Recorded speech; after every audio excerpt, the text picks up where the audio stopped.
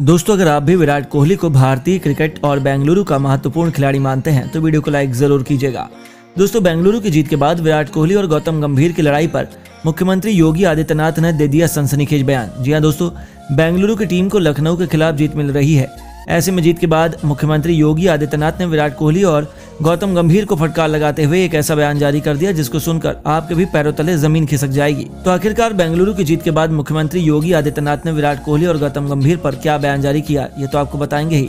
तो जानने के लिए वीडियो को पूरा एंड तक ज़रूर देखिएगा, लेकिन उससे पहले आपको क्या लगता है, बेंगलुरु की जीत हीरो कौन रहे? अपनी राय हमें नीचे कमेंट बॉक्स में ज़रूर दें।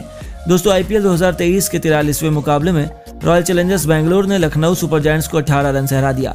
इस मैच के दौरान मैदान में हाई वोल्टेज ड्रामा देखने को मिला। मैच के दौरान और मैच के बाद दोनों टीमों के कुछ खिलाड़ी और स्टाफ आपस में भिड़ते नज़र आए।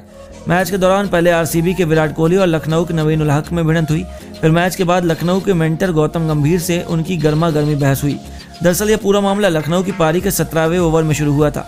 जब विराट स्टंप के पीछे से दौड़ते हुए आए और नवीन को देखकर कुछ इशारा किया। इस पर अफ़गानिस्तान के नवीन भी उनके करीब आ गए और दोनों में बहस शुरू हुई।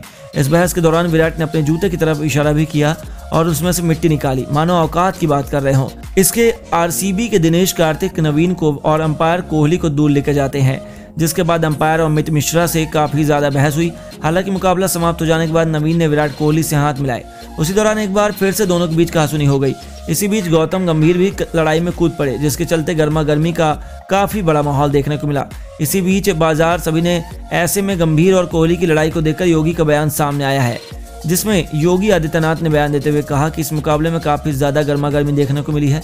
यूपी की टीम के साथ कोई भी पंगा न ले। बेंगलुरु की टीम ने बिल्कुल भी अच्छा नहीं किया है। गौतम गंभीर एक बेहतरीन खिलाड़ी है, साथ में विराट कोहली भी एक महान खिलाड़ी हैं। ऐसे में दोनों को नहीं लड़ना चाहिए था।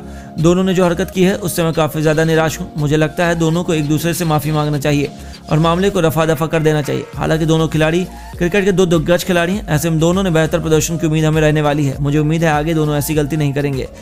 इसके अलावा उन्होंने आगे बयान देते हुए कहा है कि बेंगलुरु की टीम के विराट कोहली ने बार बार मुकाबले में सारी हदें पार कर दी। विराट कोहली को ज़्यादा आक्रामक नहीं होना चाहिए था। विराट कोहली के द्वारा आक्रामक अंदाज को देखकर हर कोई हैरान रह गया। मुझे नहीं लगता विराट कोहली को इतना ज़्यादा आक्रामक होने की आवश्यकता है। तो वहीं गौतम गंभीर को भी मुकाबले के समाप्त होने के बाद बड़ा दिल रखते हुए विराट कोहली को माफ़ कर देना चाहिए था।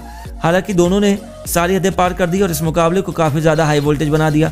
दोनों की गर्मा गर्मी के चलते मुकाबले में काफ़ी ज़्यादा बवाल देखने को मिला, लेकिन मुझे उम्मीद है दोनों खिलाड़ी एक दूसरे से माफ़ी मांगेंगे और क्रिकेट के खेल को शर्मिंदा नहीं करेंगे। तो दोस्तों, विराट कोहली और गौतम गंभीर की लड़ाई में बड़ी गलती किसकी रही है? अपनी राय हमें नीचे कमेंट बॉक्स में ज़रूर दें और ऐसी ही शानदार खबरों के लिए चैनल को सब्सक्राइब ज़रूर करें। धन्यवाद।